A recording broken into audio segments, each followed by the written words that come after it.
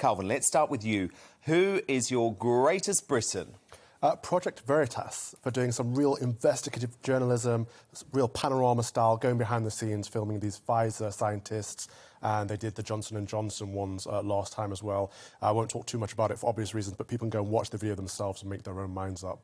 Okay, good. Sounds good. I, I, have seen this all over social media today. Yeah. Have to be honest, I haven't had a chance to watch it, so I absolutely will go and, and watch after the show because that sounds fascinating. It's on my Twitter feed, Calvin Robinson. Okay, brilliant. I will check it out.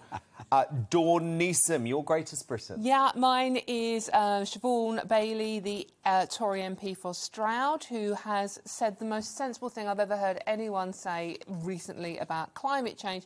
Uh, children should our children are having activism forced down their throats. They are being terrorised by the likes of Insulate Britain. Why not instead encourage them to become scientists and do something positive and proactive about climate change? Love it. I think it's absolutely disgusting the way that we're scaring our kids. Oh, totally. On so many levels, not just about the climate emergency, but about the COVID emergency, the fact they need to wear masks wherever they go, the oh. fact they have to be scared of germs. What are we doing to our kids?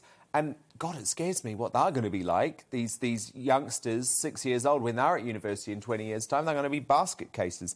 Uh, Lembit, your greatest Briton. Well, it ties in with what Dawn said. My greatest Briton is the great British weather. Oh, why is that? Hasn't it's normal. Great? It's just normal. Now, weather and climate are two different things. Yeah.